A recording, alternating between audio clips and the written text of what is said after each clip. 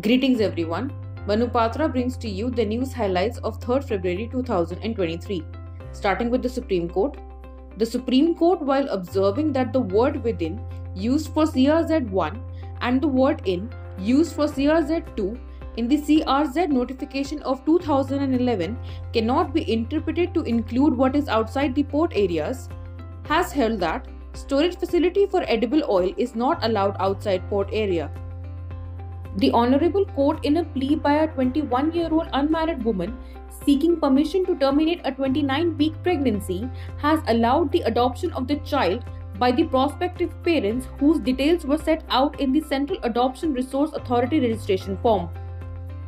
The Supreme Court has held that high courts cannot override and impose their will on the parties if parties to a litigation proceeding have entered into an agreement to compound a compoundable offence.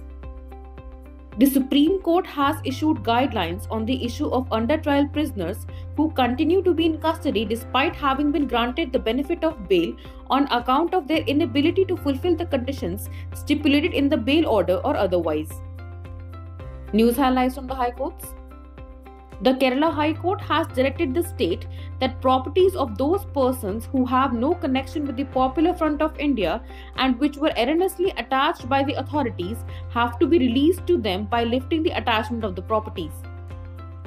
The Calcutta High Court has upheld the life sentence awarded to a Pakistani national belonging to the terrorist organization Al Badr who was found to have entered Indian territory illegally through Bangladesh and was proceeding to Srinagar, Jammu and Kashmir for the purpose of carrying out terrorist activities.